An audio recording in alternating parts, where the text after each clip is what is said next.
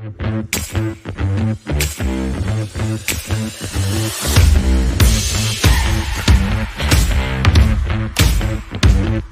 everyone, Brent Wesler with VRC. Today we're going to talk a little bit about Azure AI Foundry and the models catalog.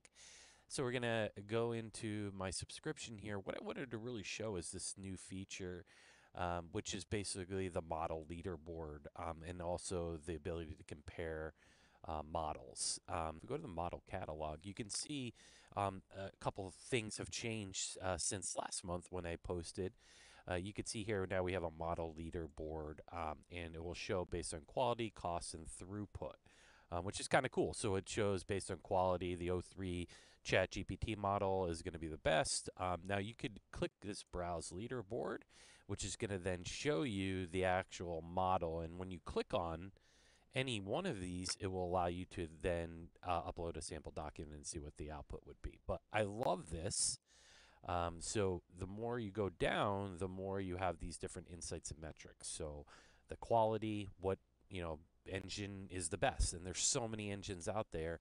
Um, they're saying the Chat O3 model and the O4 Mini are the most quality uh, based on cost and quality. And then you can see below, it gives you kind of a, a matrix of quality versus cost versus quality versus throughput. And you can see here most of the uh, ChatGPT models do quite well. And then you also have things like DeepSeek. Then you can go below here and then see, um, you know, how well it reasons, general knowledge, question and answer, math, things like that, document clustering. Um, and when you click, it will then show you the actual uh, indicator in here, this 0.93 quality index, and you can actually go to the model.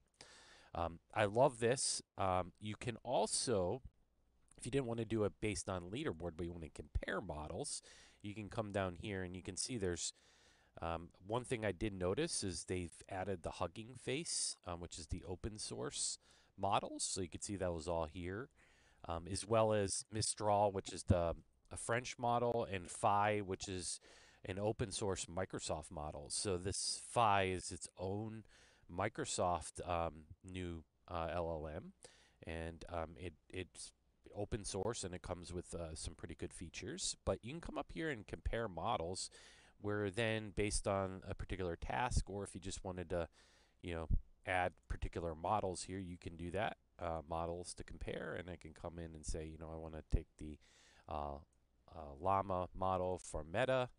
We can add that in here, and then you can see on a matrix uh, based on quality. You can see you can show all these different scoring. Um, also things like uh, F1 scores, um, uh, also things like fine tuning scores, relevance, things like that. And you're seeing a lot of these different types of um, coherence, fluency, groundedness.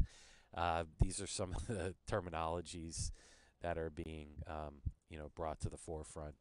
So uh, I love this uh, because it's hard to compare models and know what does well uh, in terms of reasoning, um, you know, less hallucinations and different types of capabilities. And then obviously if you click on any one of the models, you can then use the playground capability.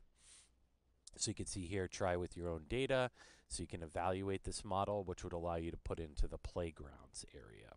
So once you build the model, you can then go in and play with it and see what it actually does.